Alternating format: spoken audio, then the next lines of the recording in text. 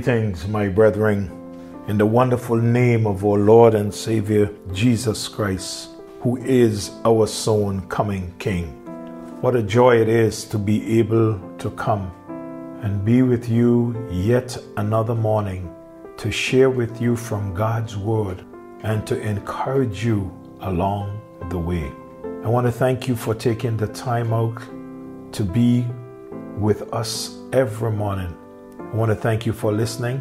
I want to thank you for sharing with your friends, family, and loved one. I am starting a series that will take us a little time. I'm going to be speaking to you in the mornings on the family.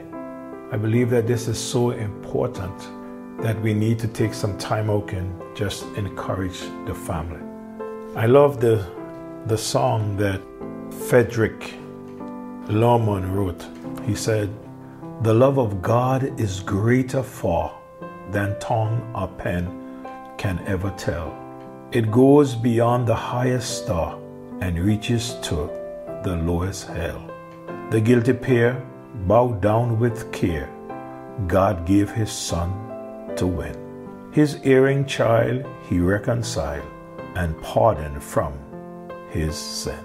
The chorus says, O love of God, how rich and pure, how measureless and strong, it shall forevermore endure the saints and angels' song. What a beautiful number. I love to sing it. I love to read the words. I love to just concentrate on this song, The Love of God. Since we'll be looking at the family, I want to, for the next uh, few mornings, just walk through this from the beginning, give you some introductory remarks, and then just walk through this family life and uh, see if we can encourage each other. I want to thank you for your calls and your WhatsApp messages that you send back to me, encouraging me um, as I try my best to encourage you.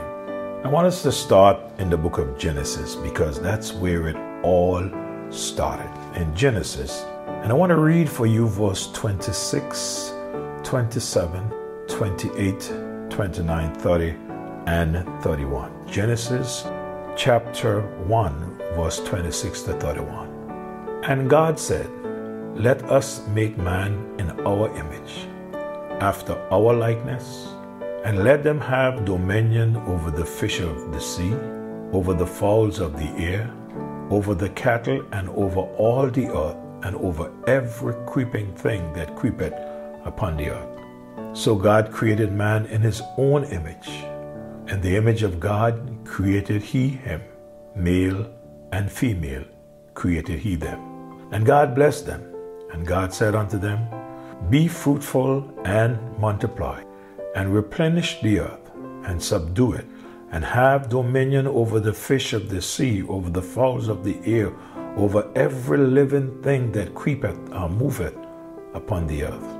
And God said, Behold, I have given you every herb bearing seed, which is upon the face of the earth, and every tree, in the which is the fruit of the tree yielding seed to you, it shall be for meat and every beast of the earth, and to every fowl of the air, and to everything that creepeth upon the earth, wherein there is life. I have given every green herb for meat, and it was so. And God saw everything that he had made, and behold, it was very good. And the evening and the morning was the sixth day. What a wonderful passage of scriptures reminding us of God creation. I like to start and give a little subject or topic to what I want to start with, and that is I've entitled the study for these mornings God's Blueprint for the Family. Wherever you go in the world today, no doubt you would see things that are built, built by man that we admire. Some of the structures that we have seen when we go away. Wow, they are breathtaking. Sometimes we are privileged to meet the person or persons who built the structure, And when we do, we compliment them for their work. But be reminded that before the builder can begin to build, the owner and architect must get together and find out what the owner would like to have in regards to designs. And then the architect design or draw the blueprint. In some cases, the architect is the one who designs his own home. When the drawings are completed, they are then taken to the local government for approval. When they are approved, then they are given to the contractor to construct what is on the paper. In some cases, the architect is given the authority to make sure that the building is done exactly according to the plan. Where in other cases, he's not given the chance to direct the contractor.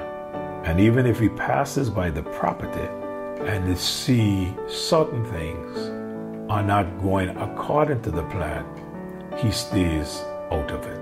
I say that to say this the family is God's design, and He has given the blueprint to all of us to follow.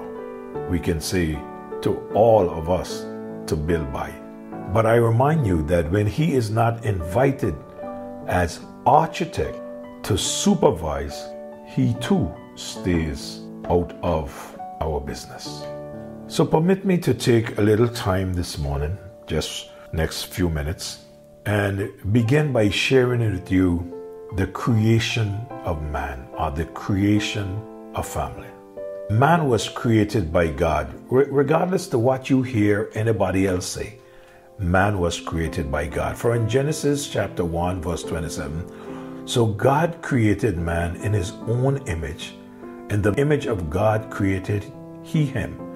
Male and female created he them. Before man was created, God had a plan. He planned how man would be created. He also planned his purpose for creation. And verse 26 says, And God said, Let us make man in our image after our likeness, and let him have dominion over the fish of the sea, over the fowls of the air, over the cattle, and over all the earth, and everything that creepeth upon the earth.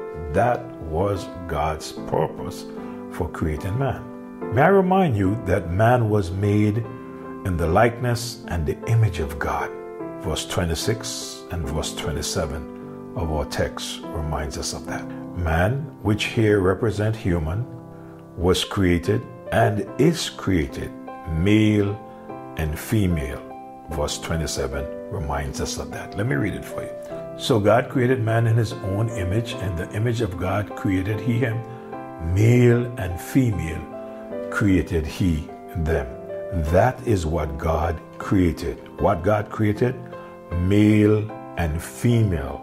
God created nothing else but male and female.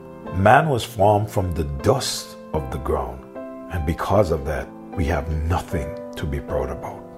The woman was made from the rib taken from a man's side.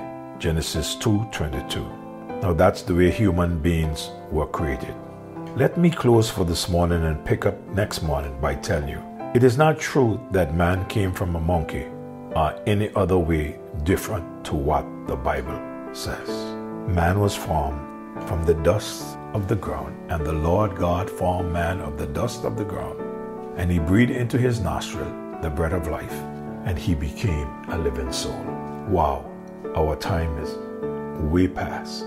We must stop here and pick up next morning. Our Father, we thank you so much for giving us these instructions.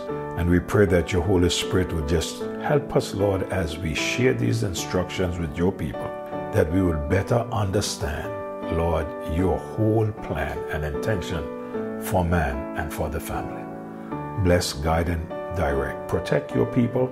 Lord, protect the family. In Jesus' name I pray. Amen. May God bless you. Have a great day. Hey, listen in the next morning.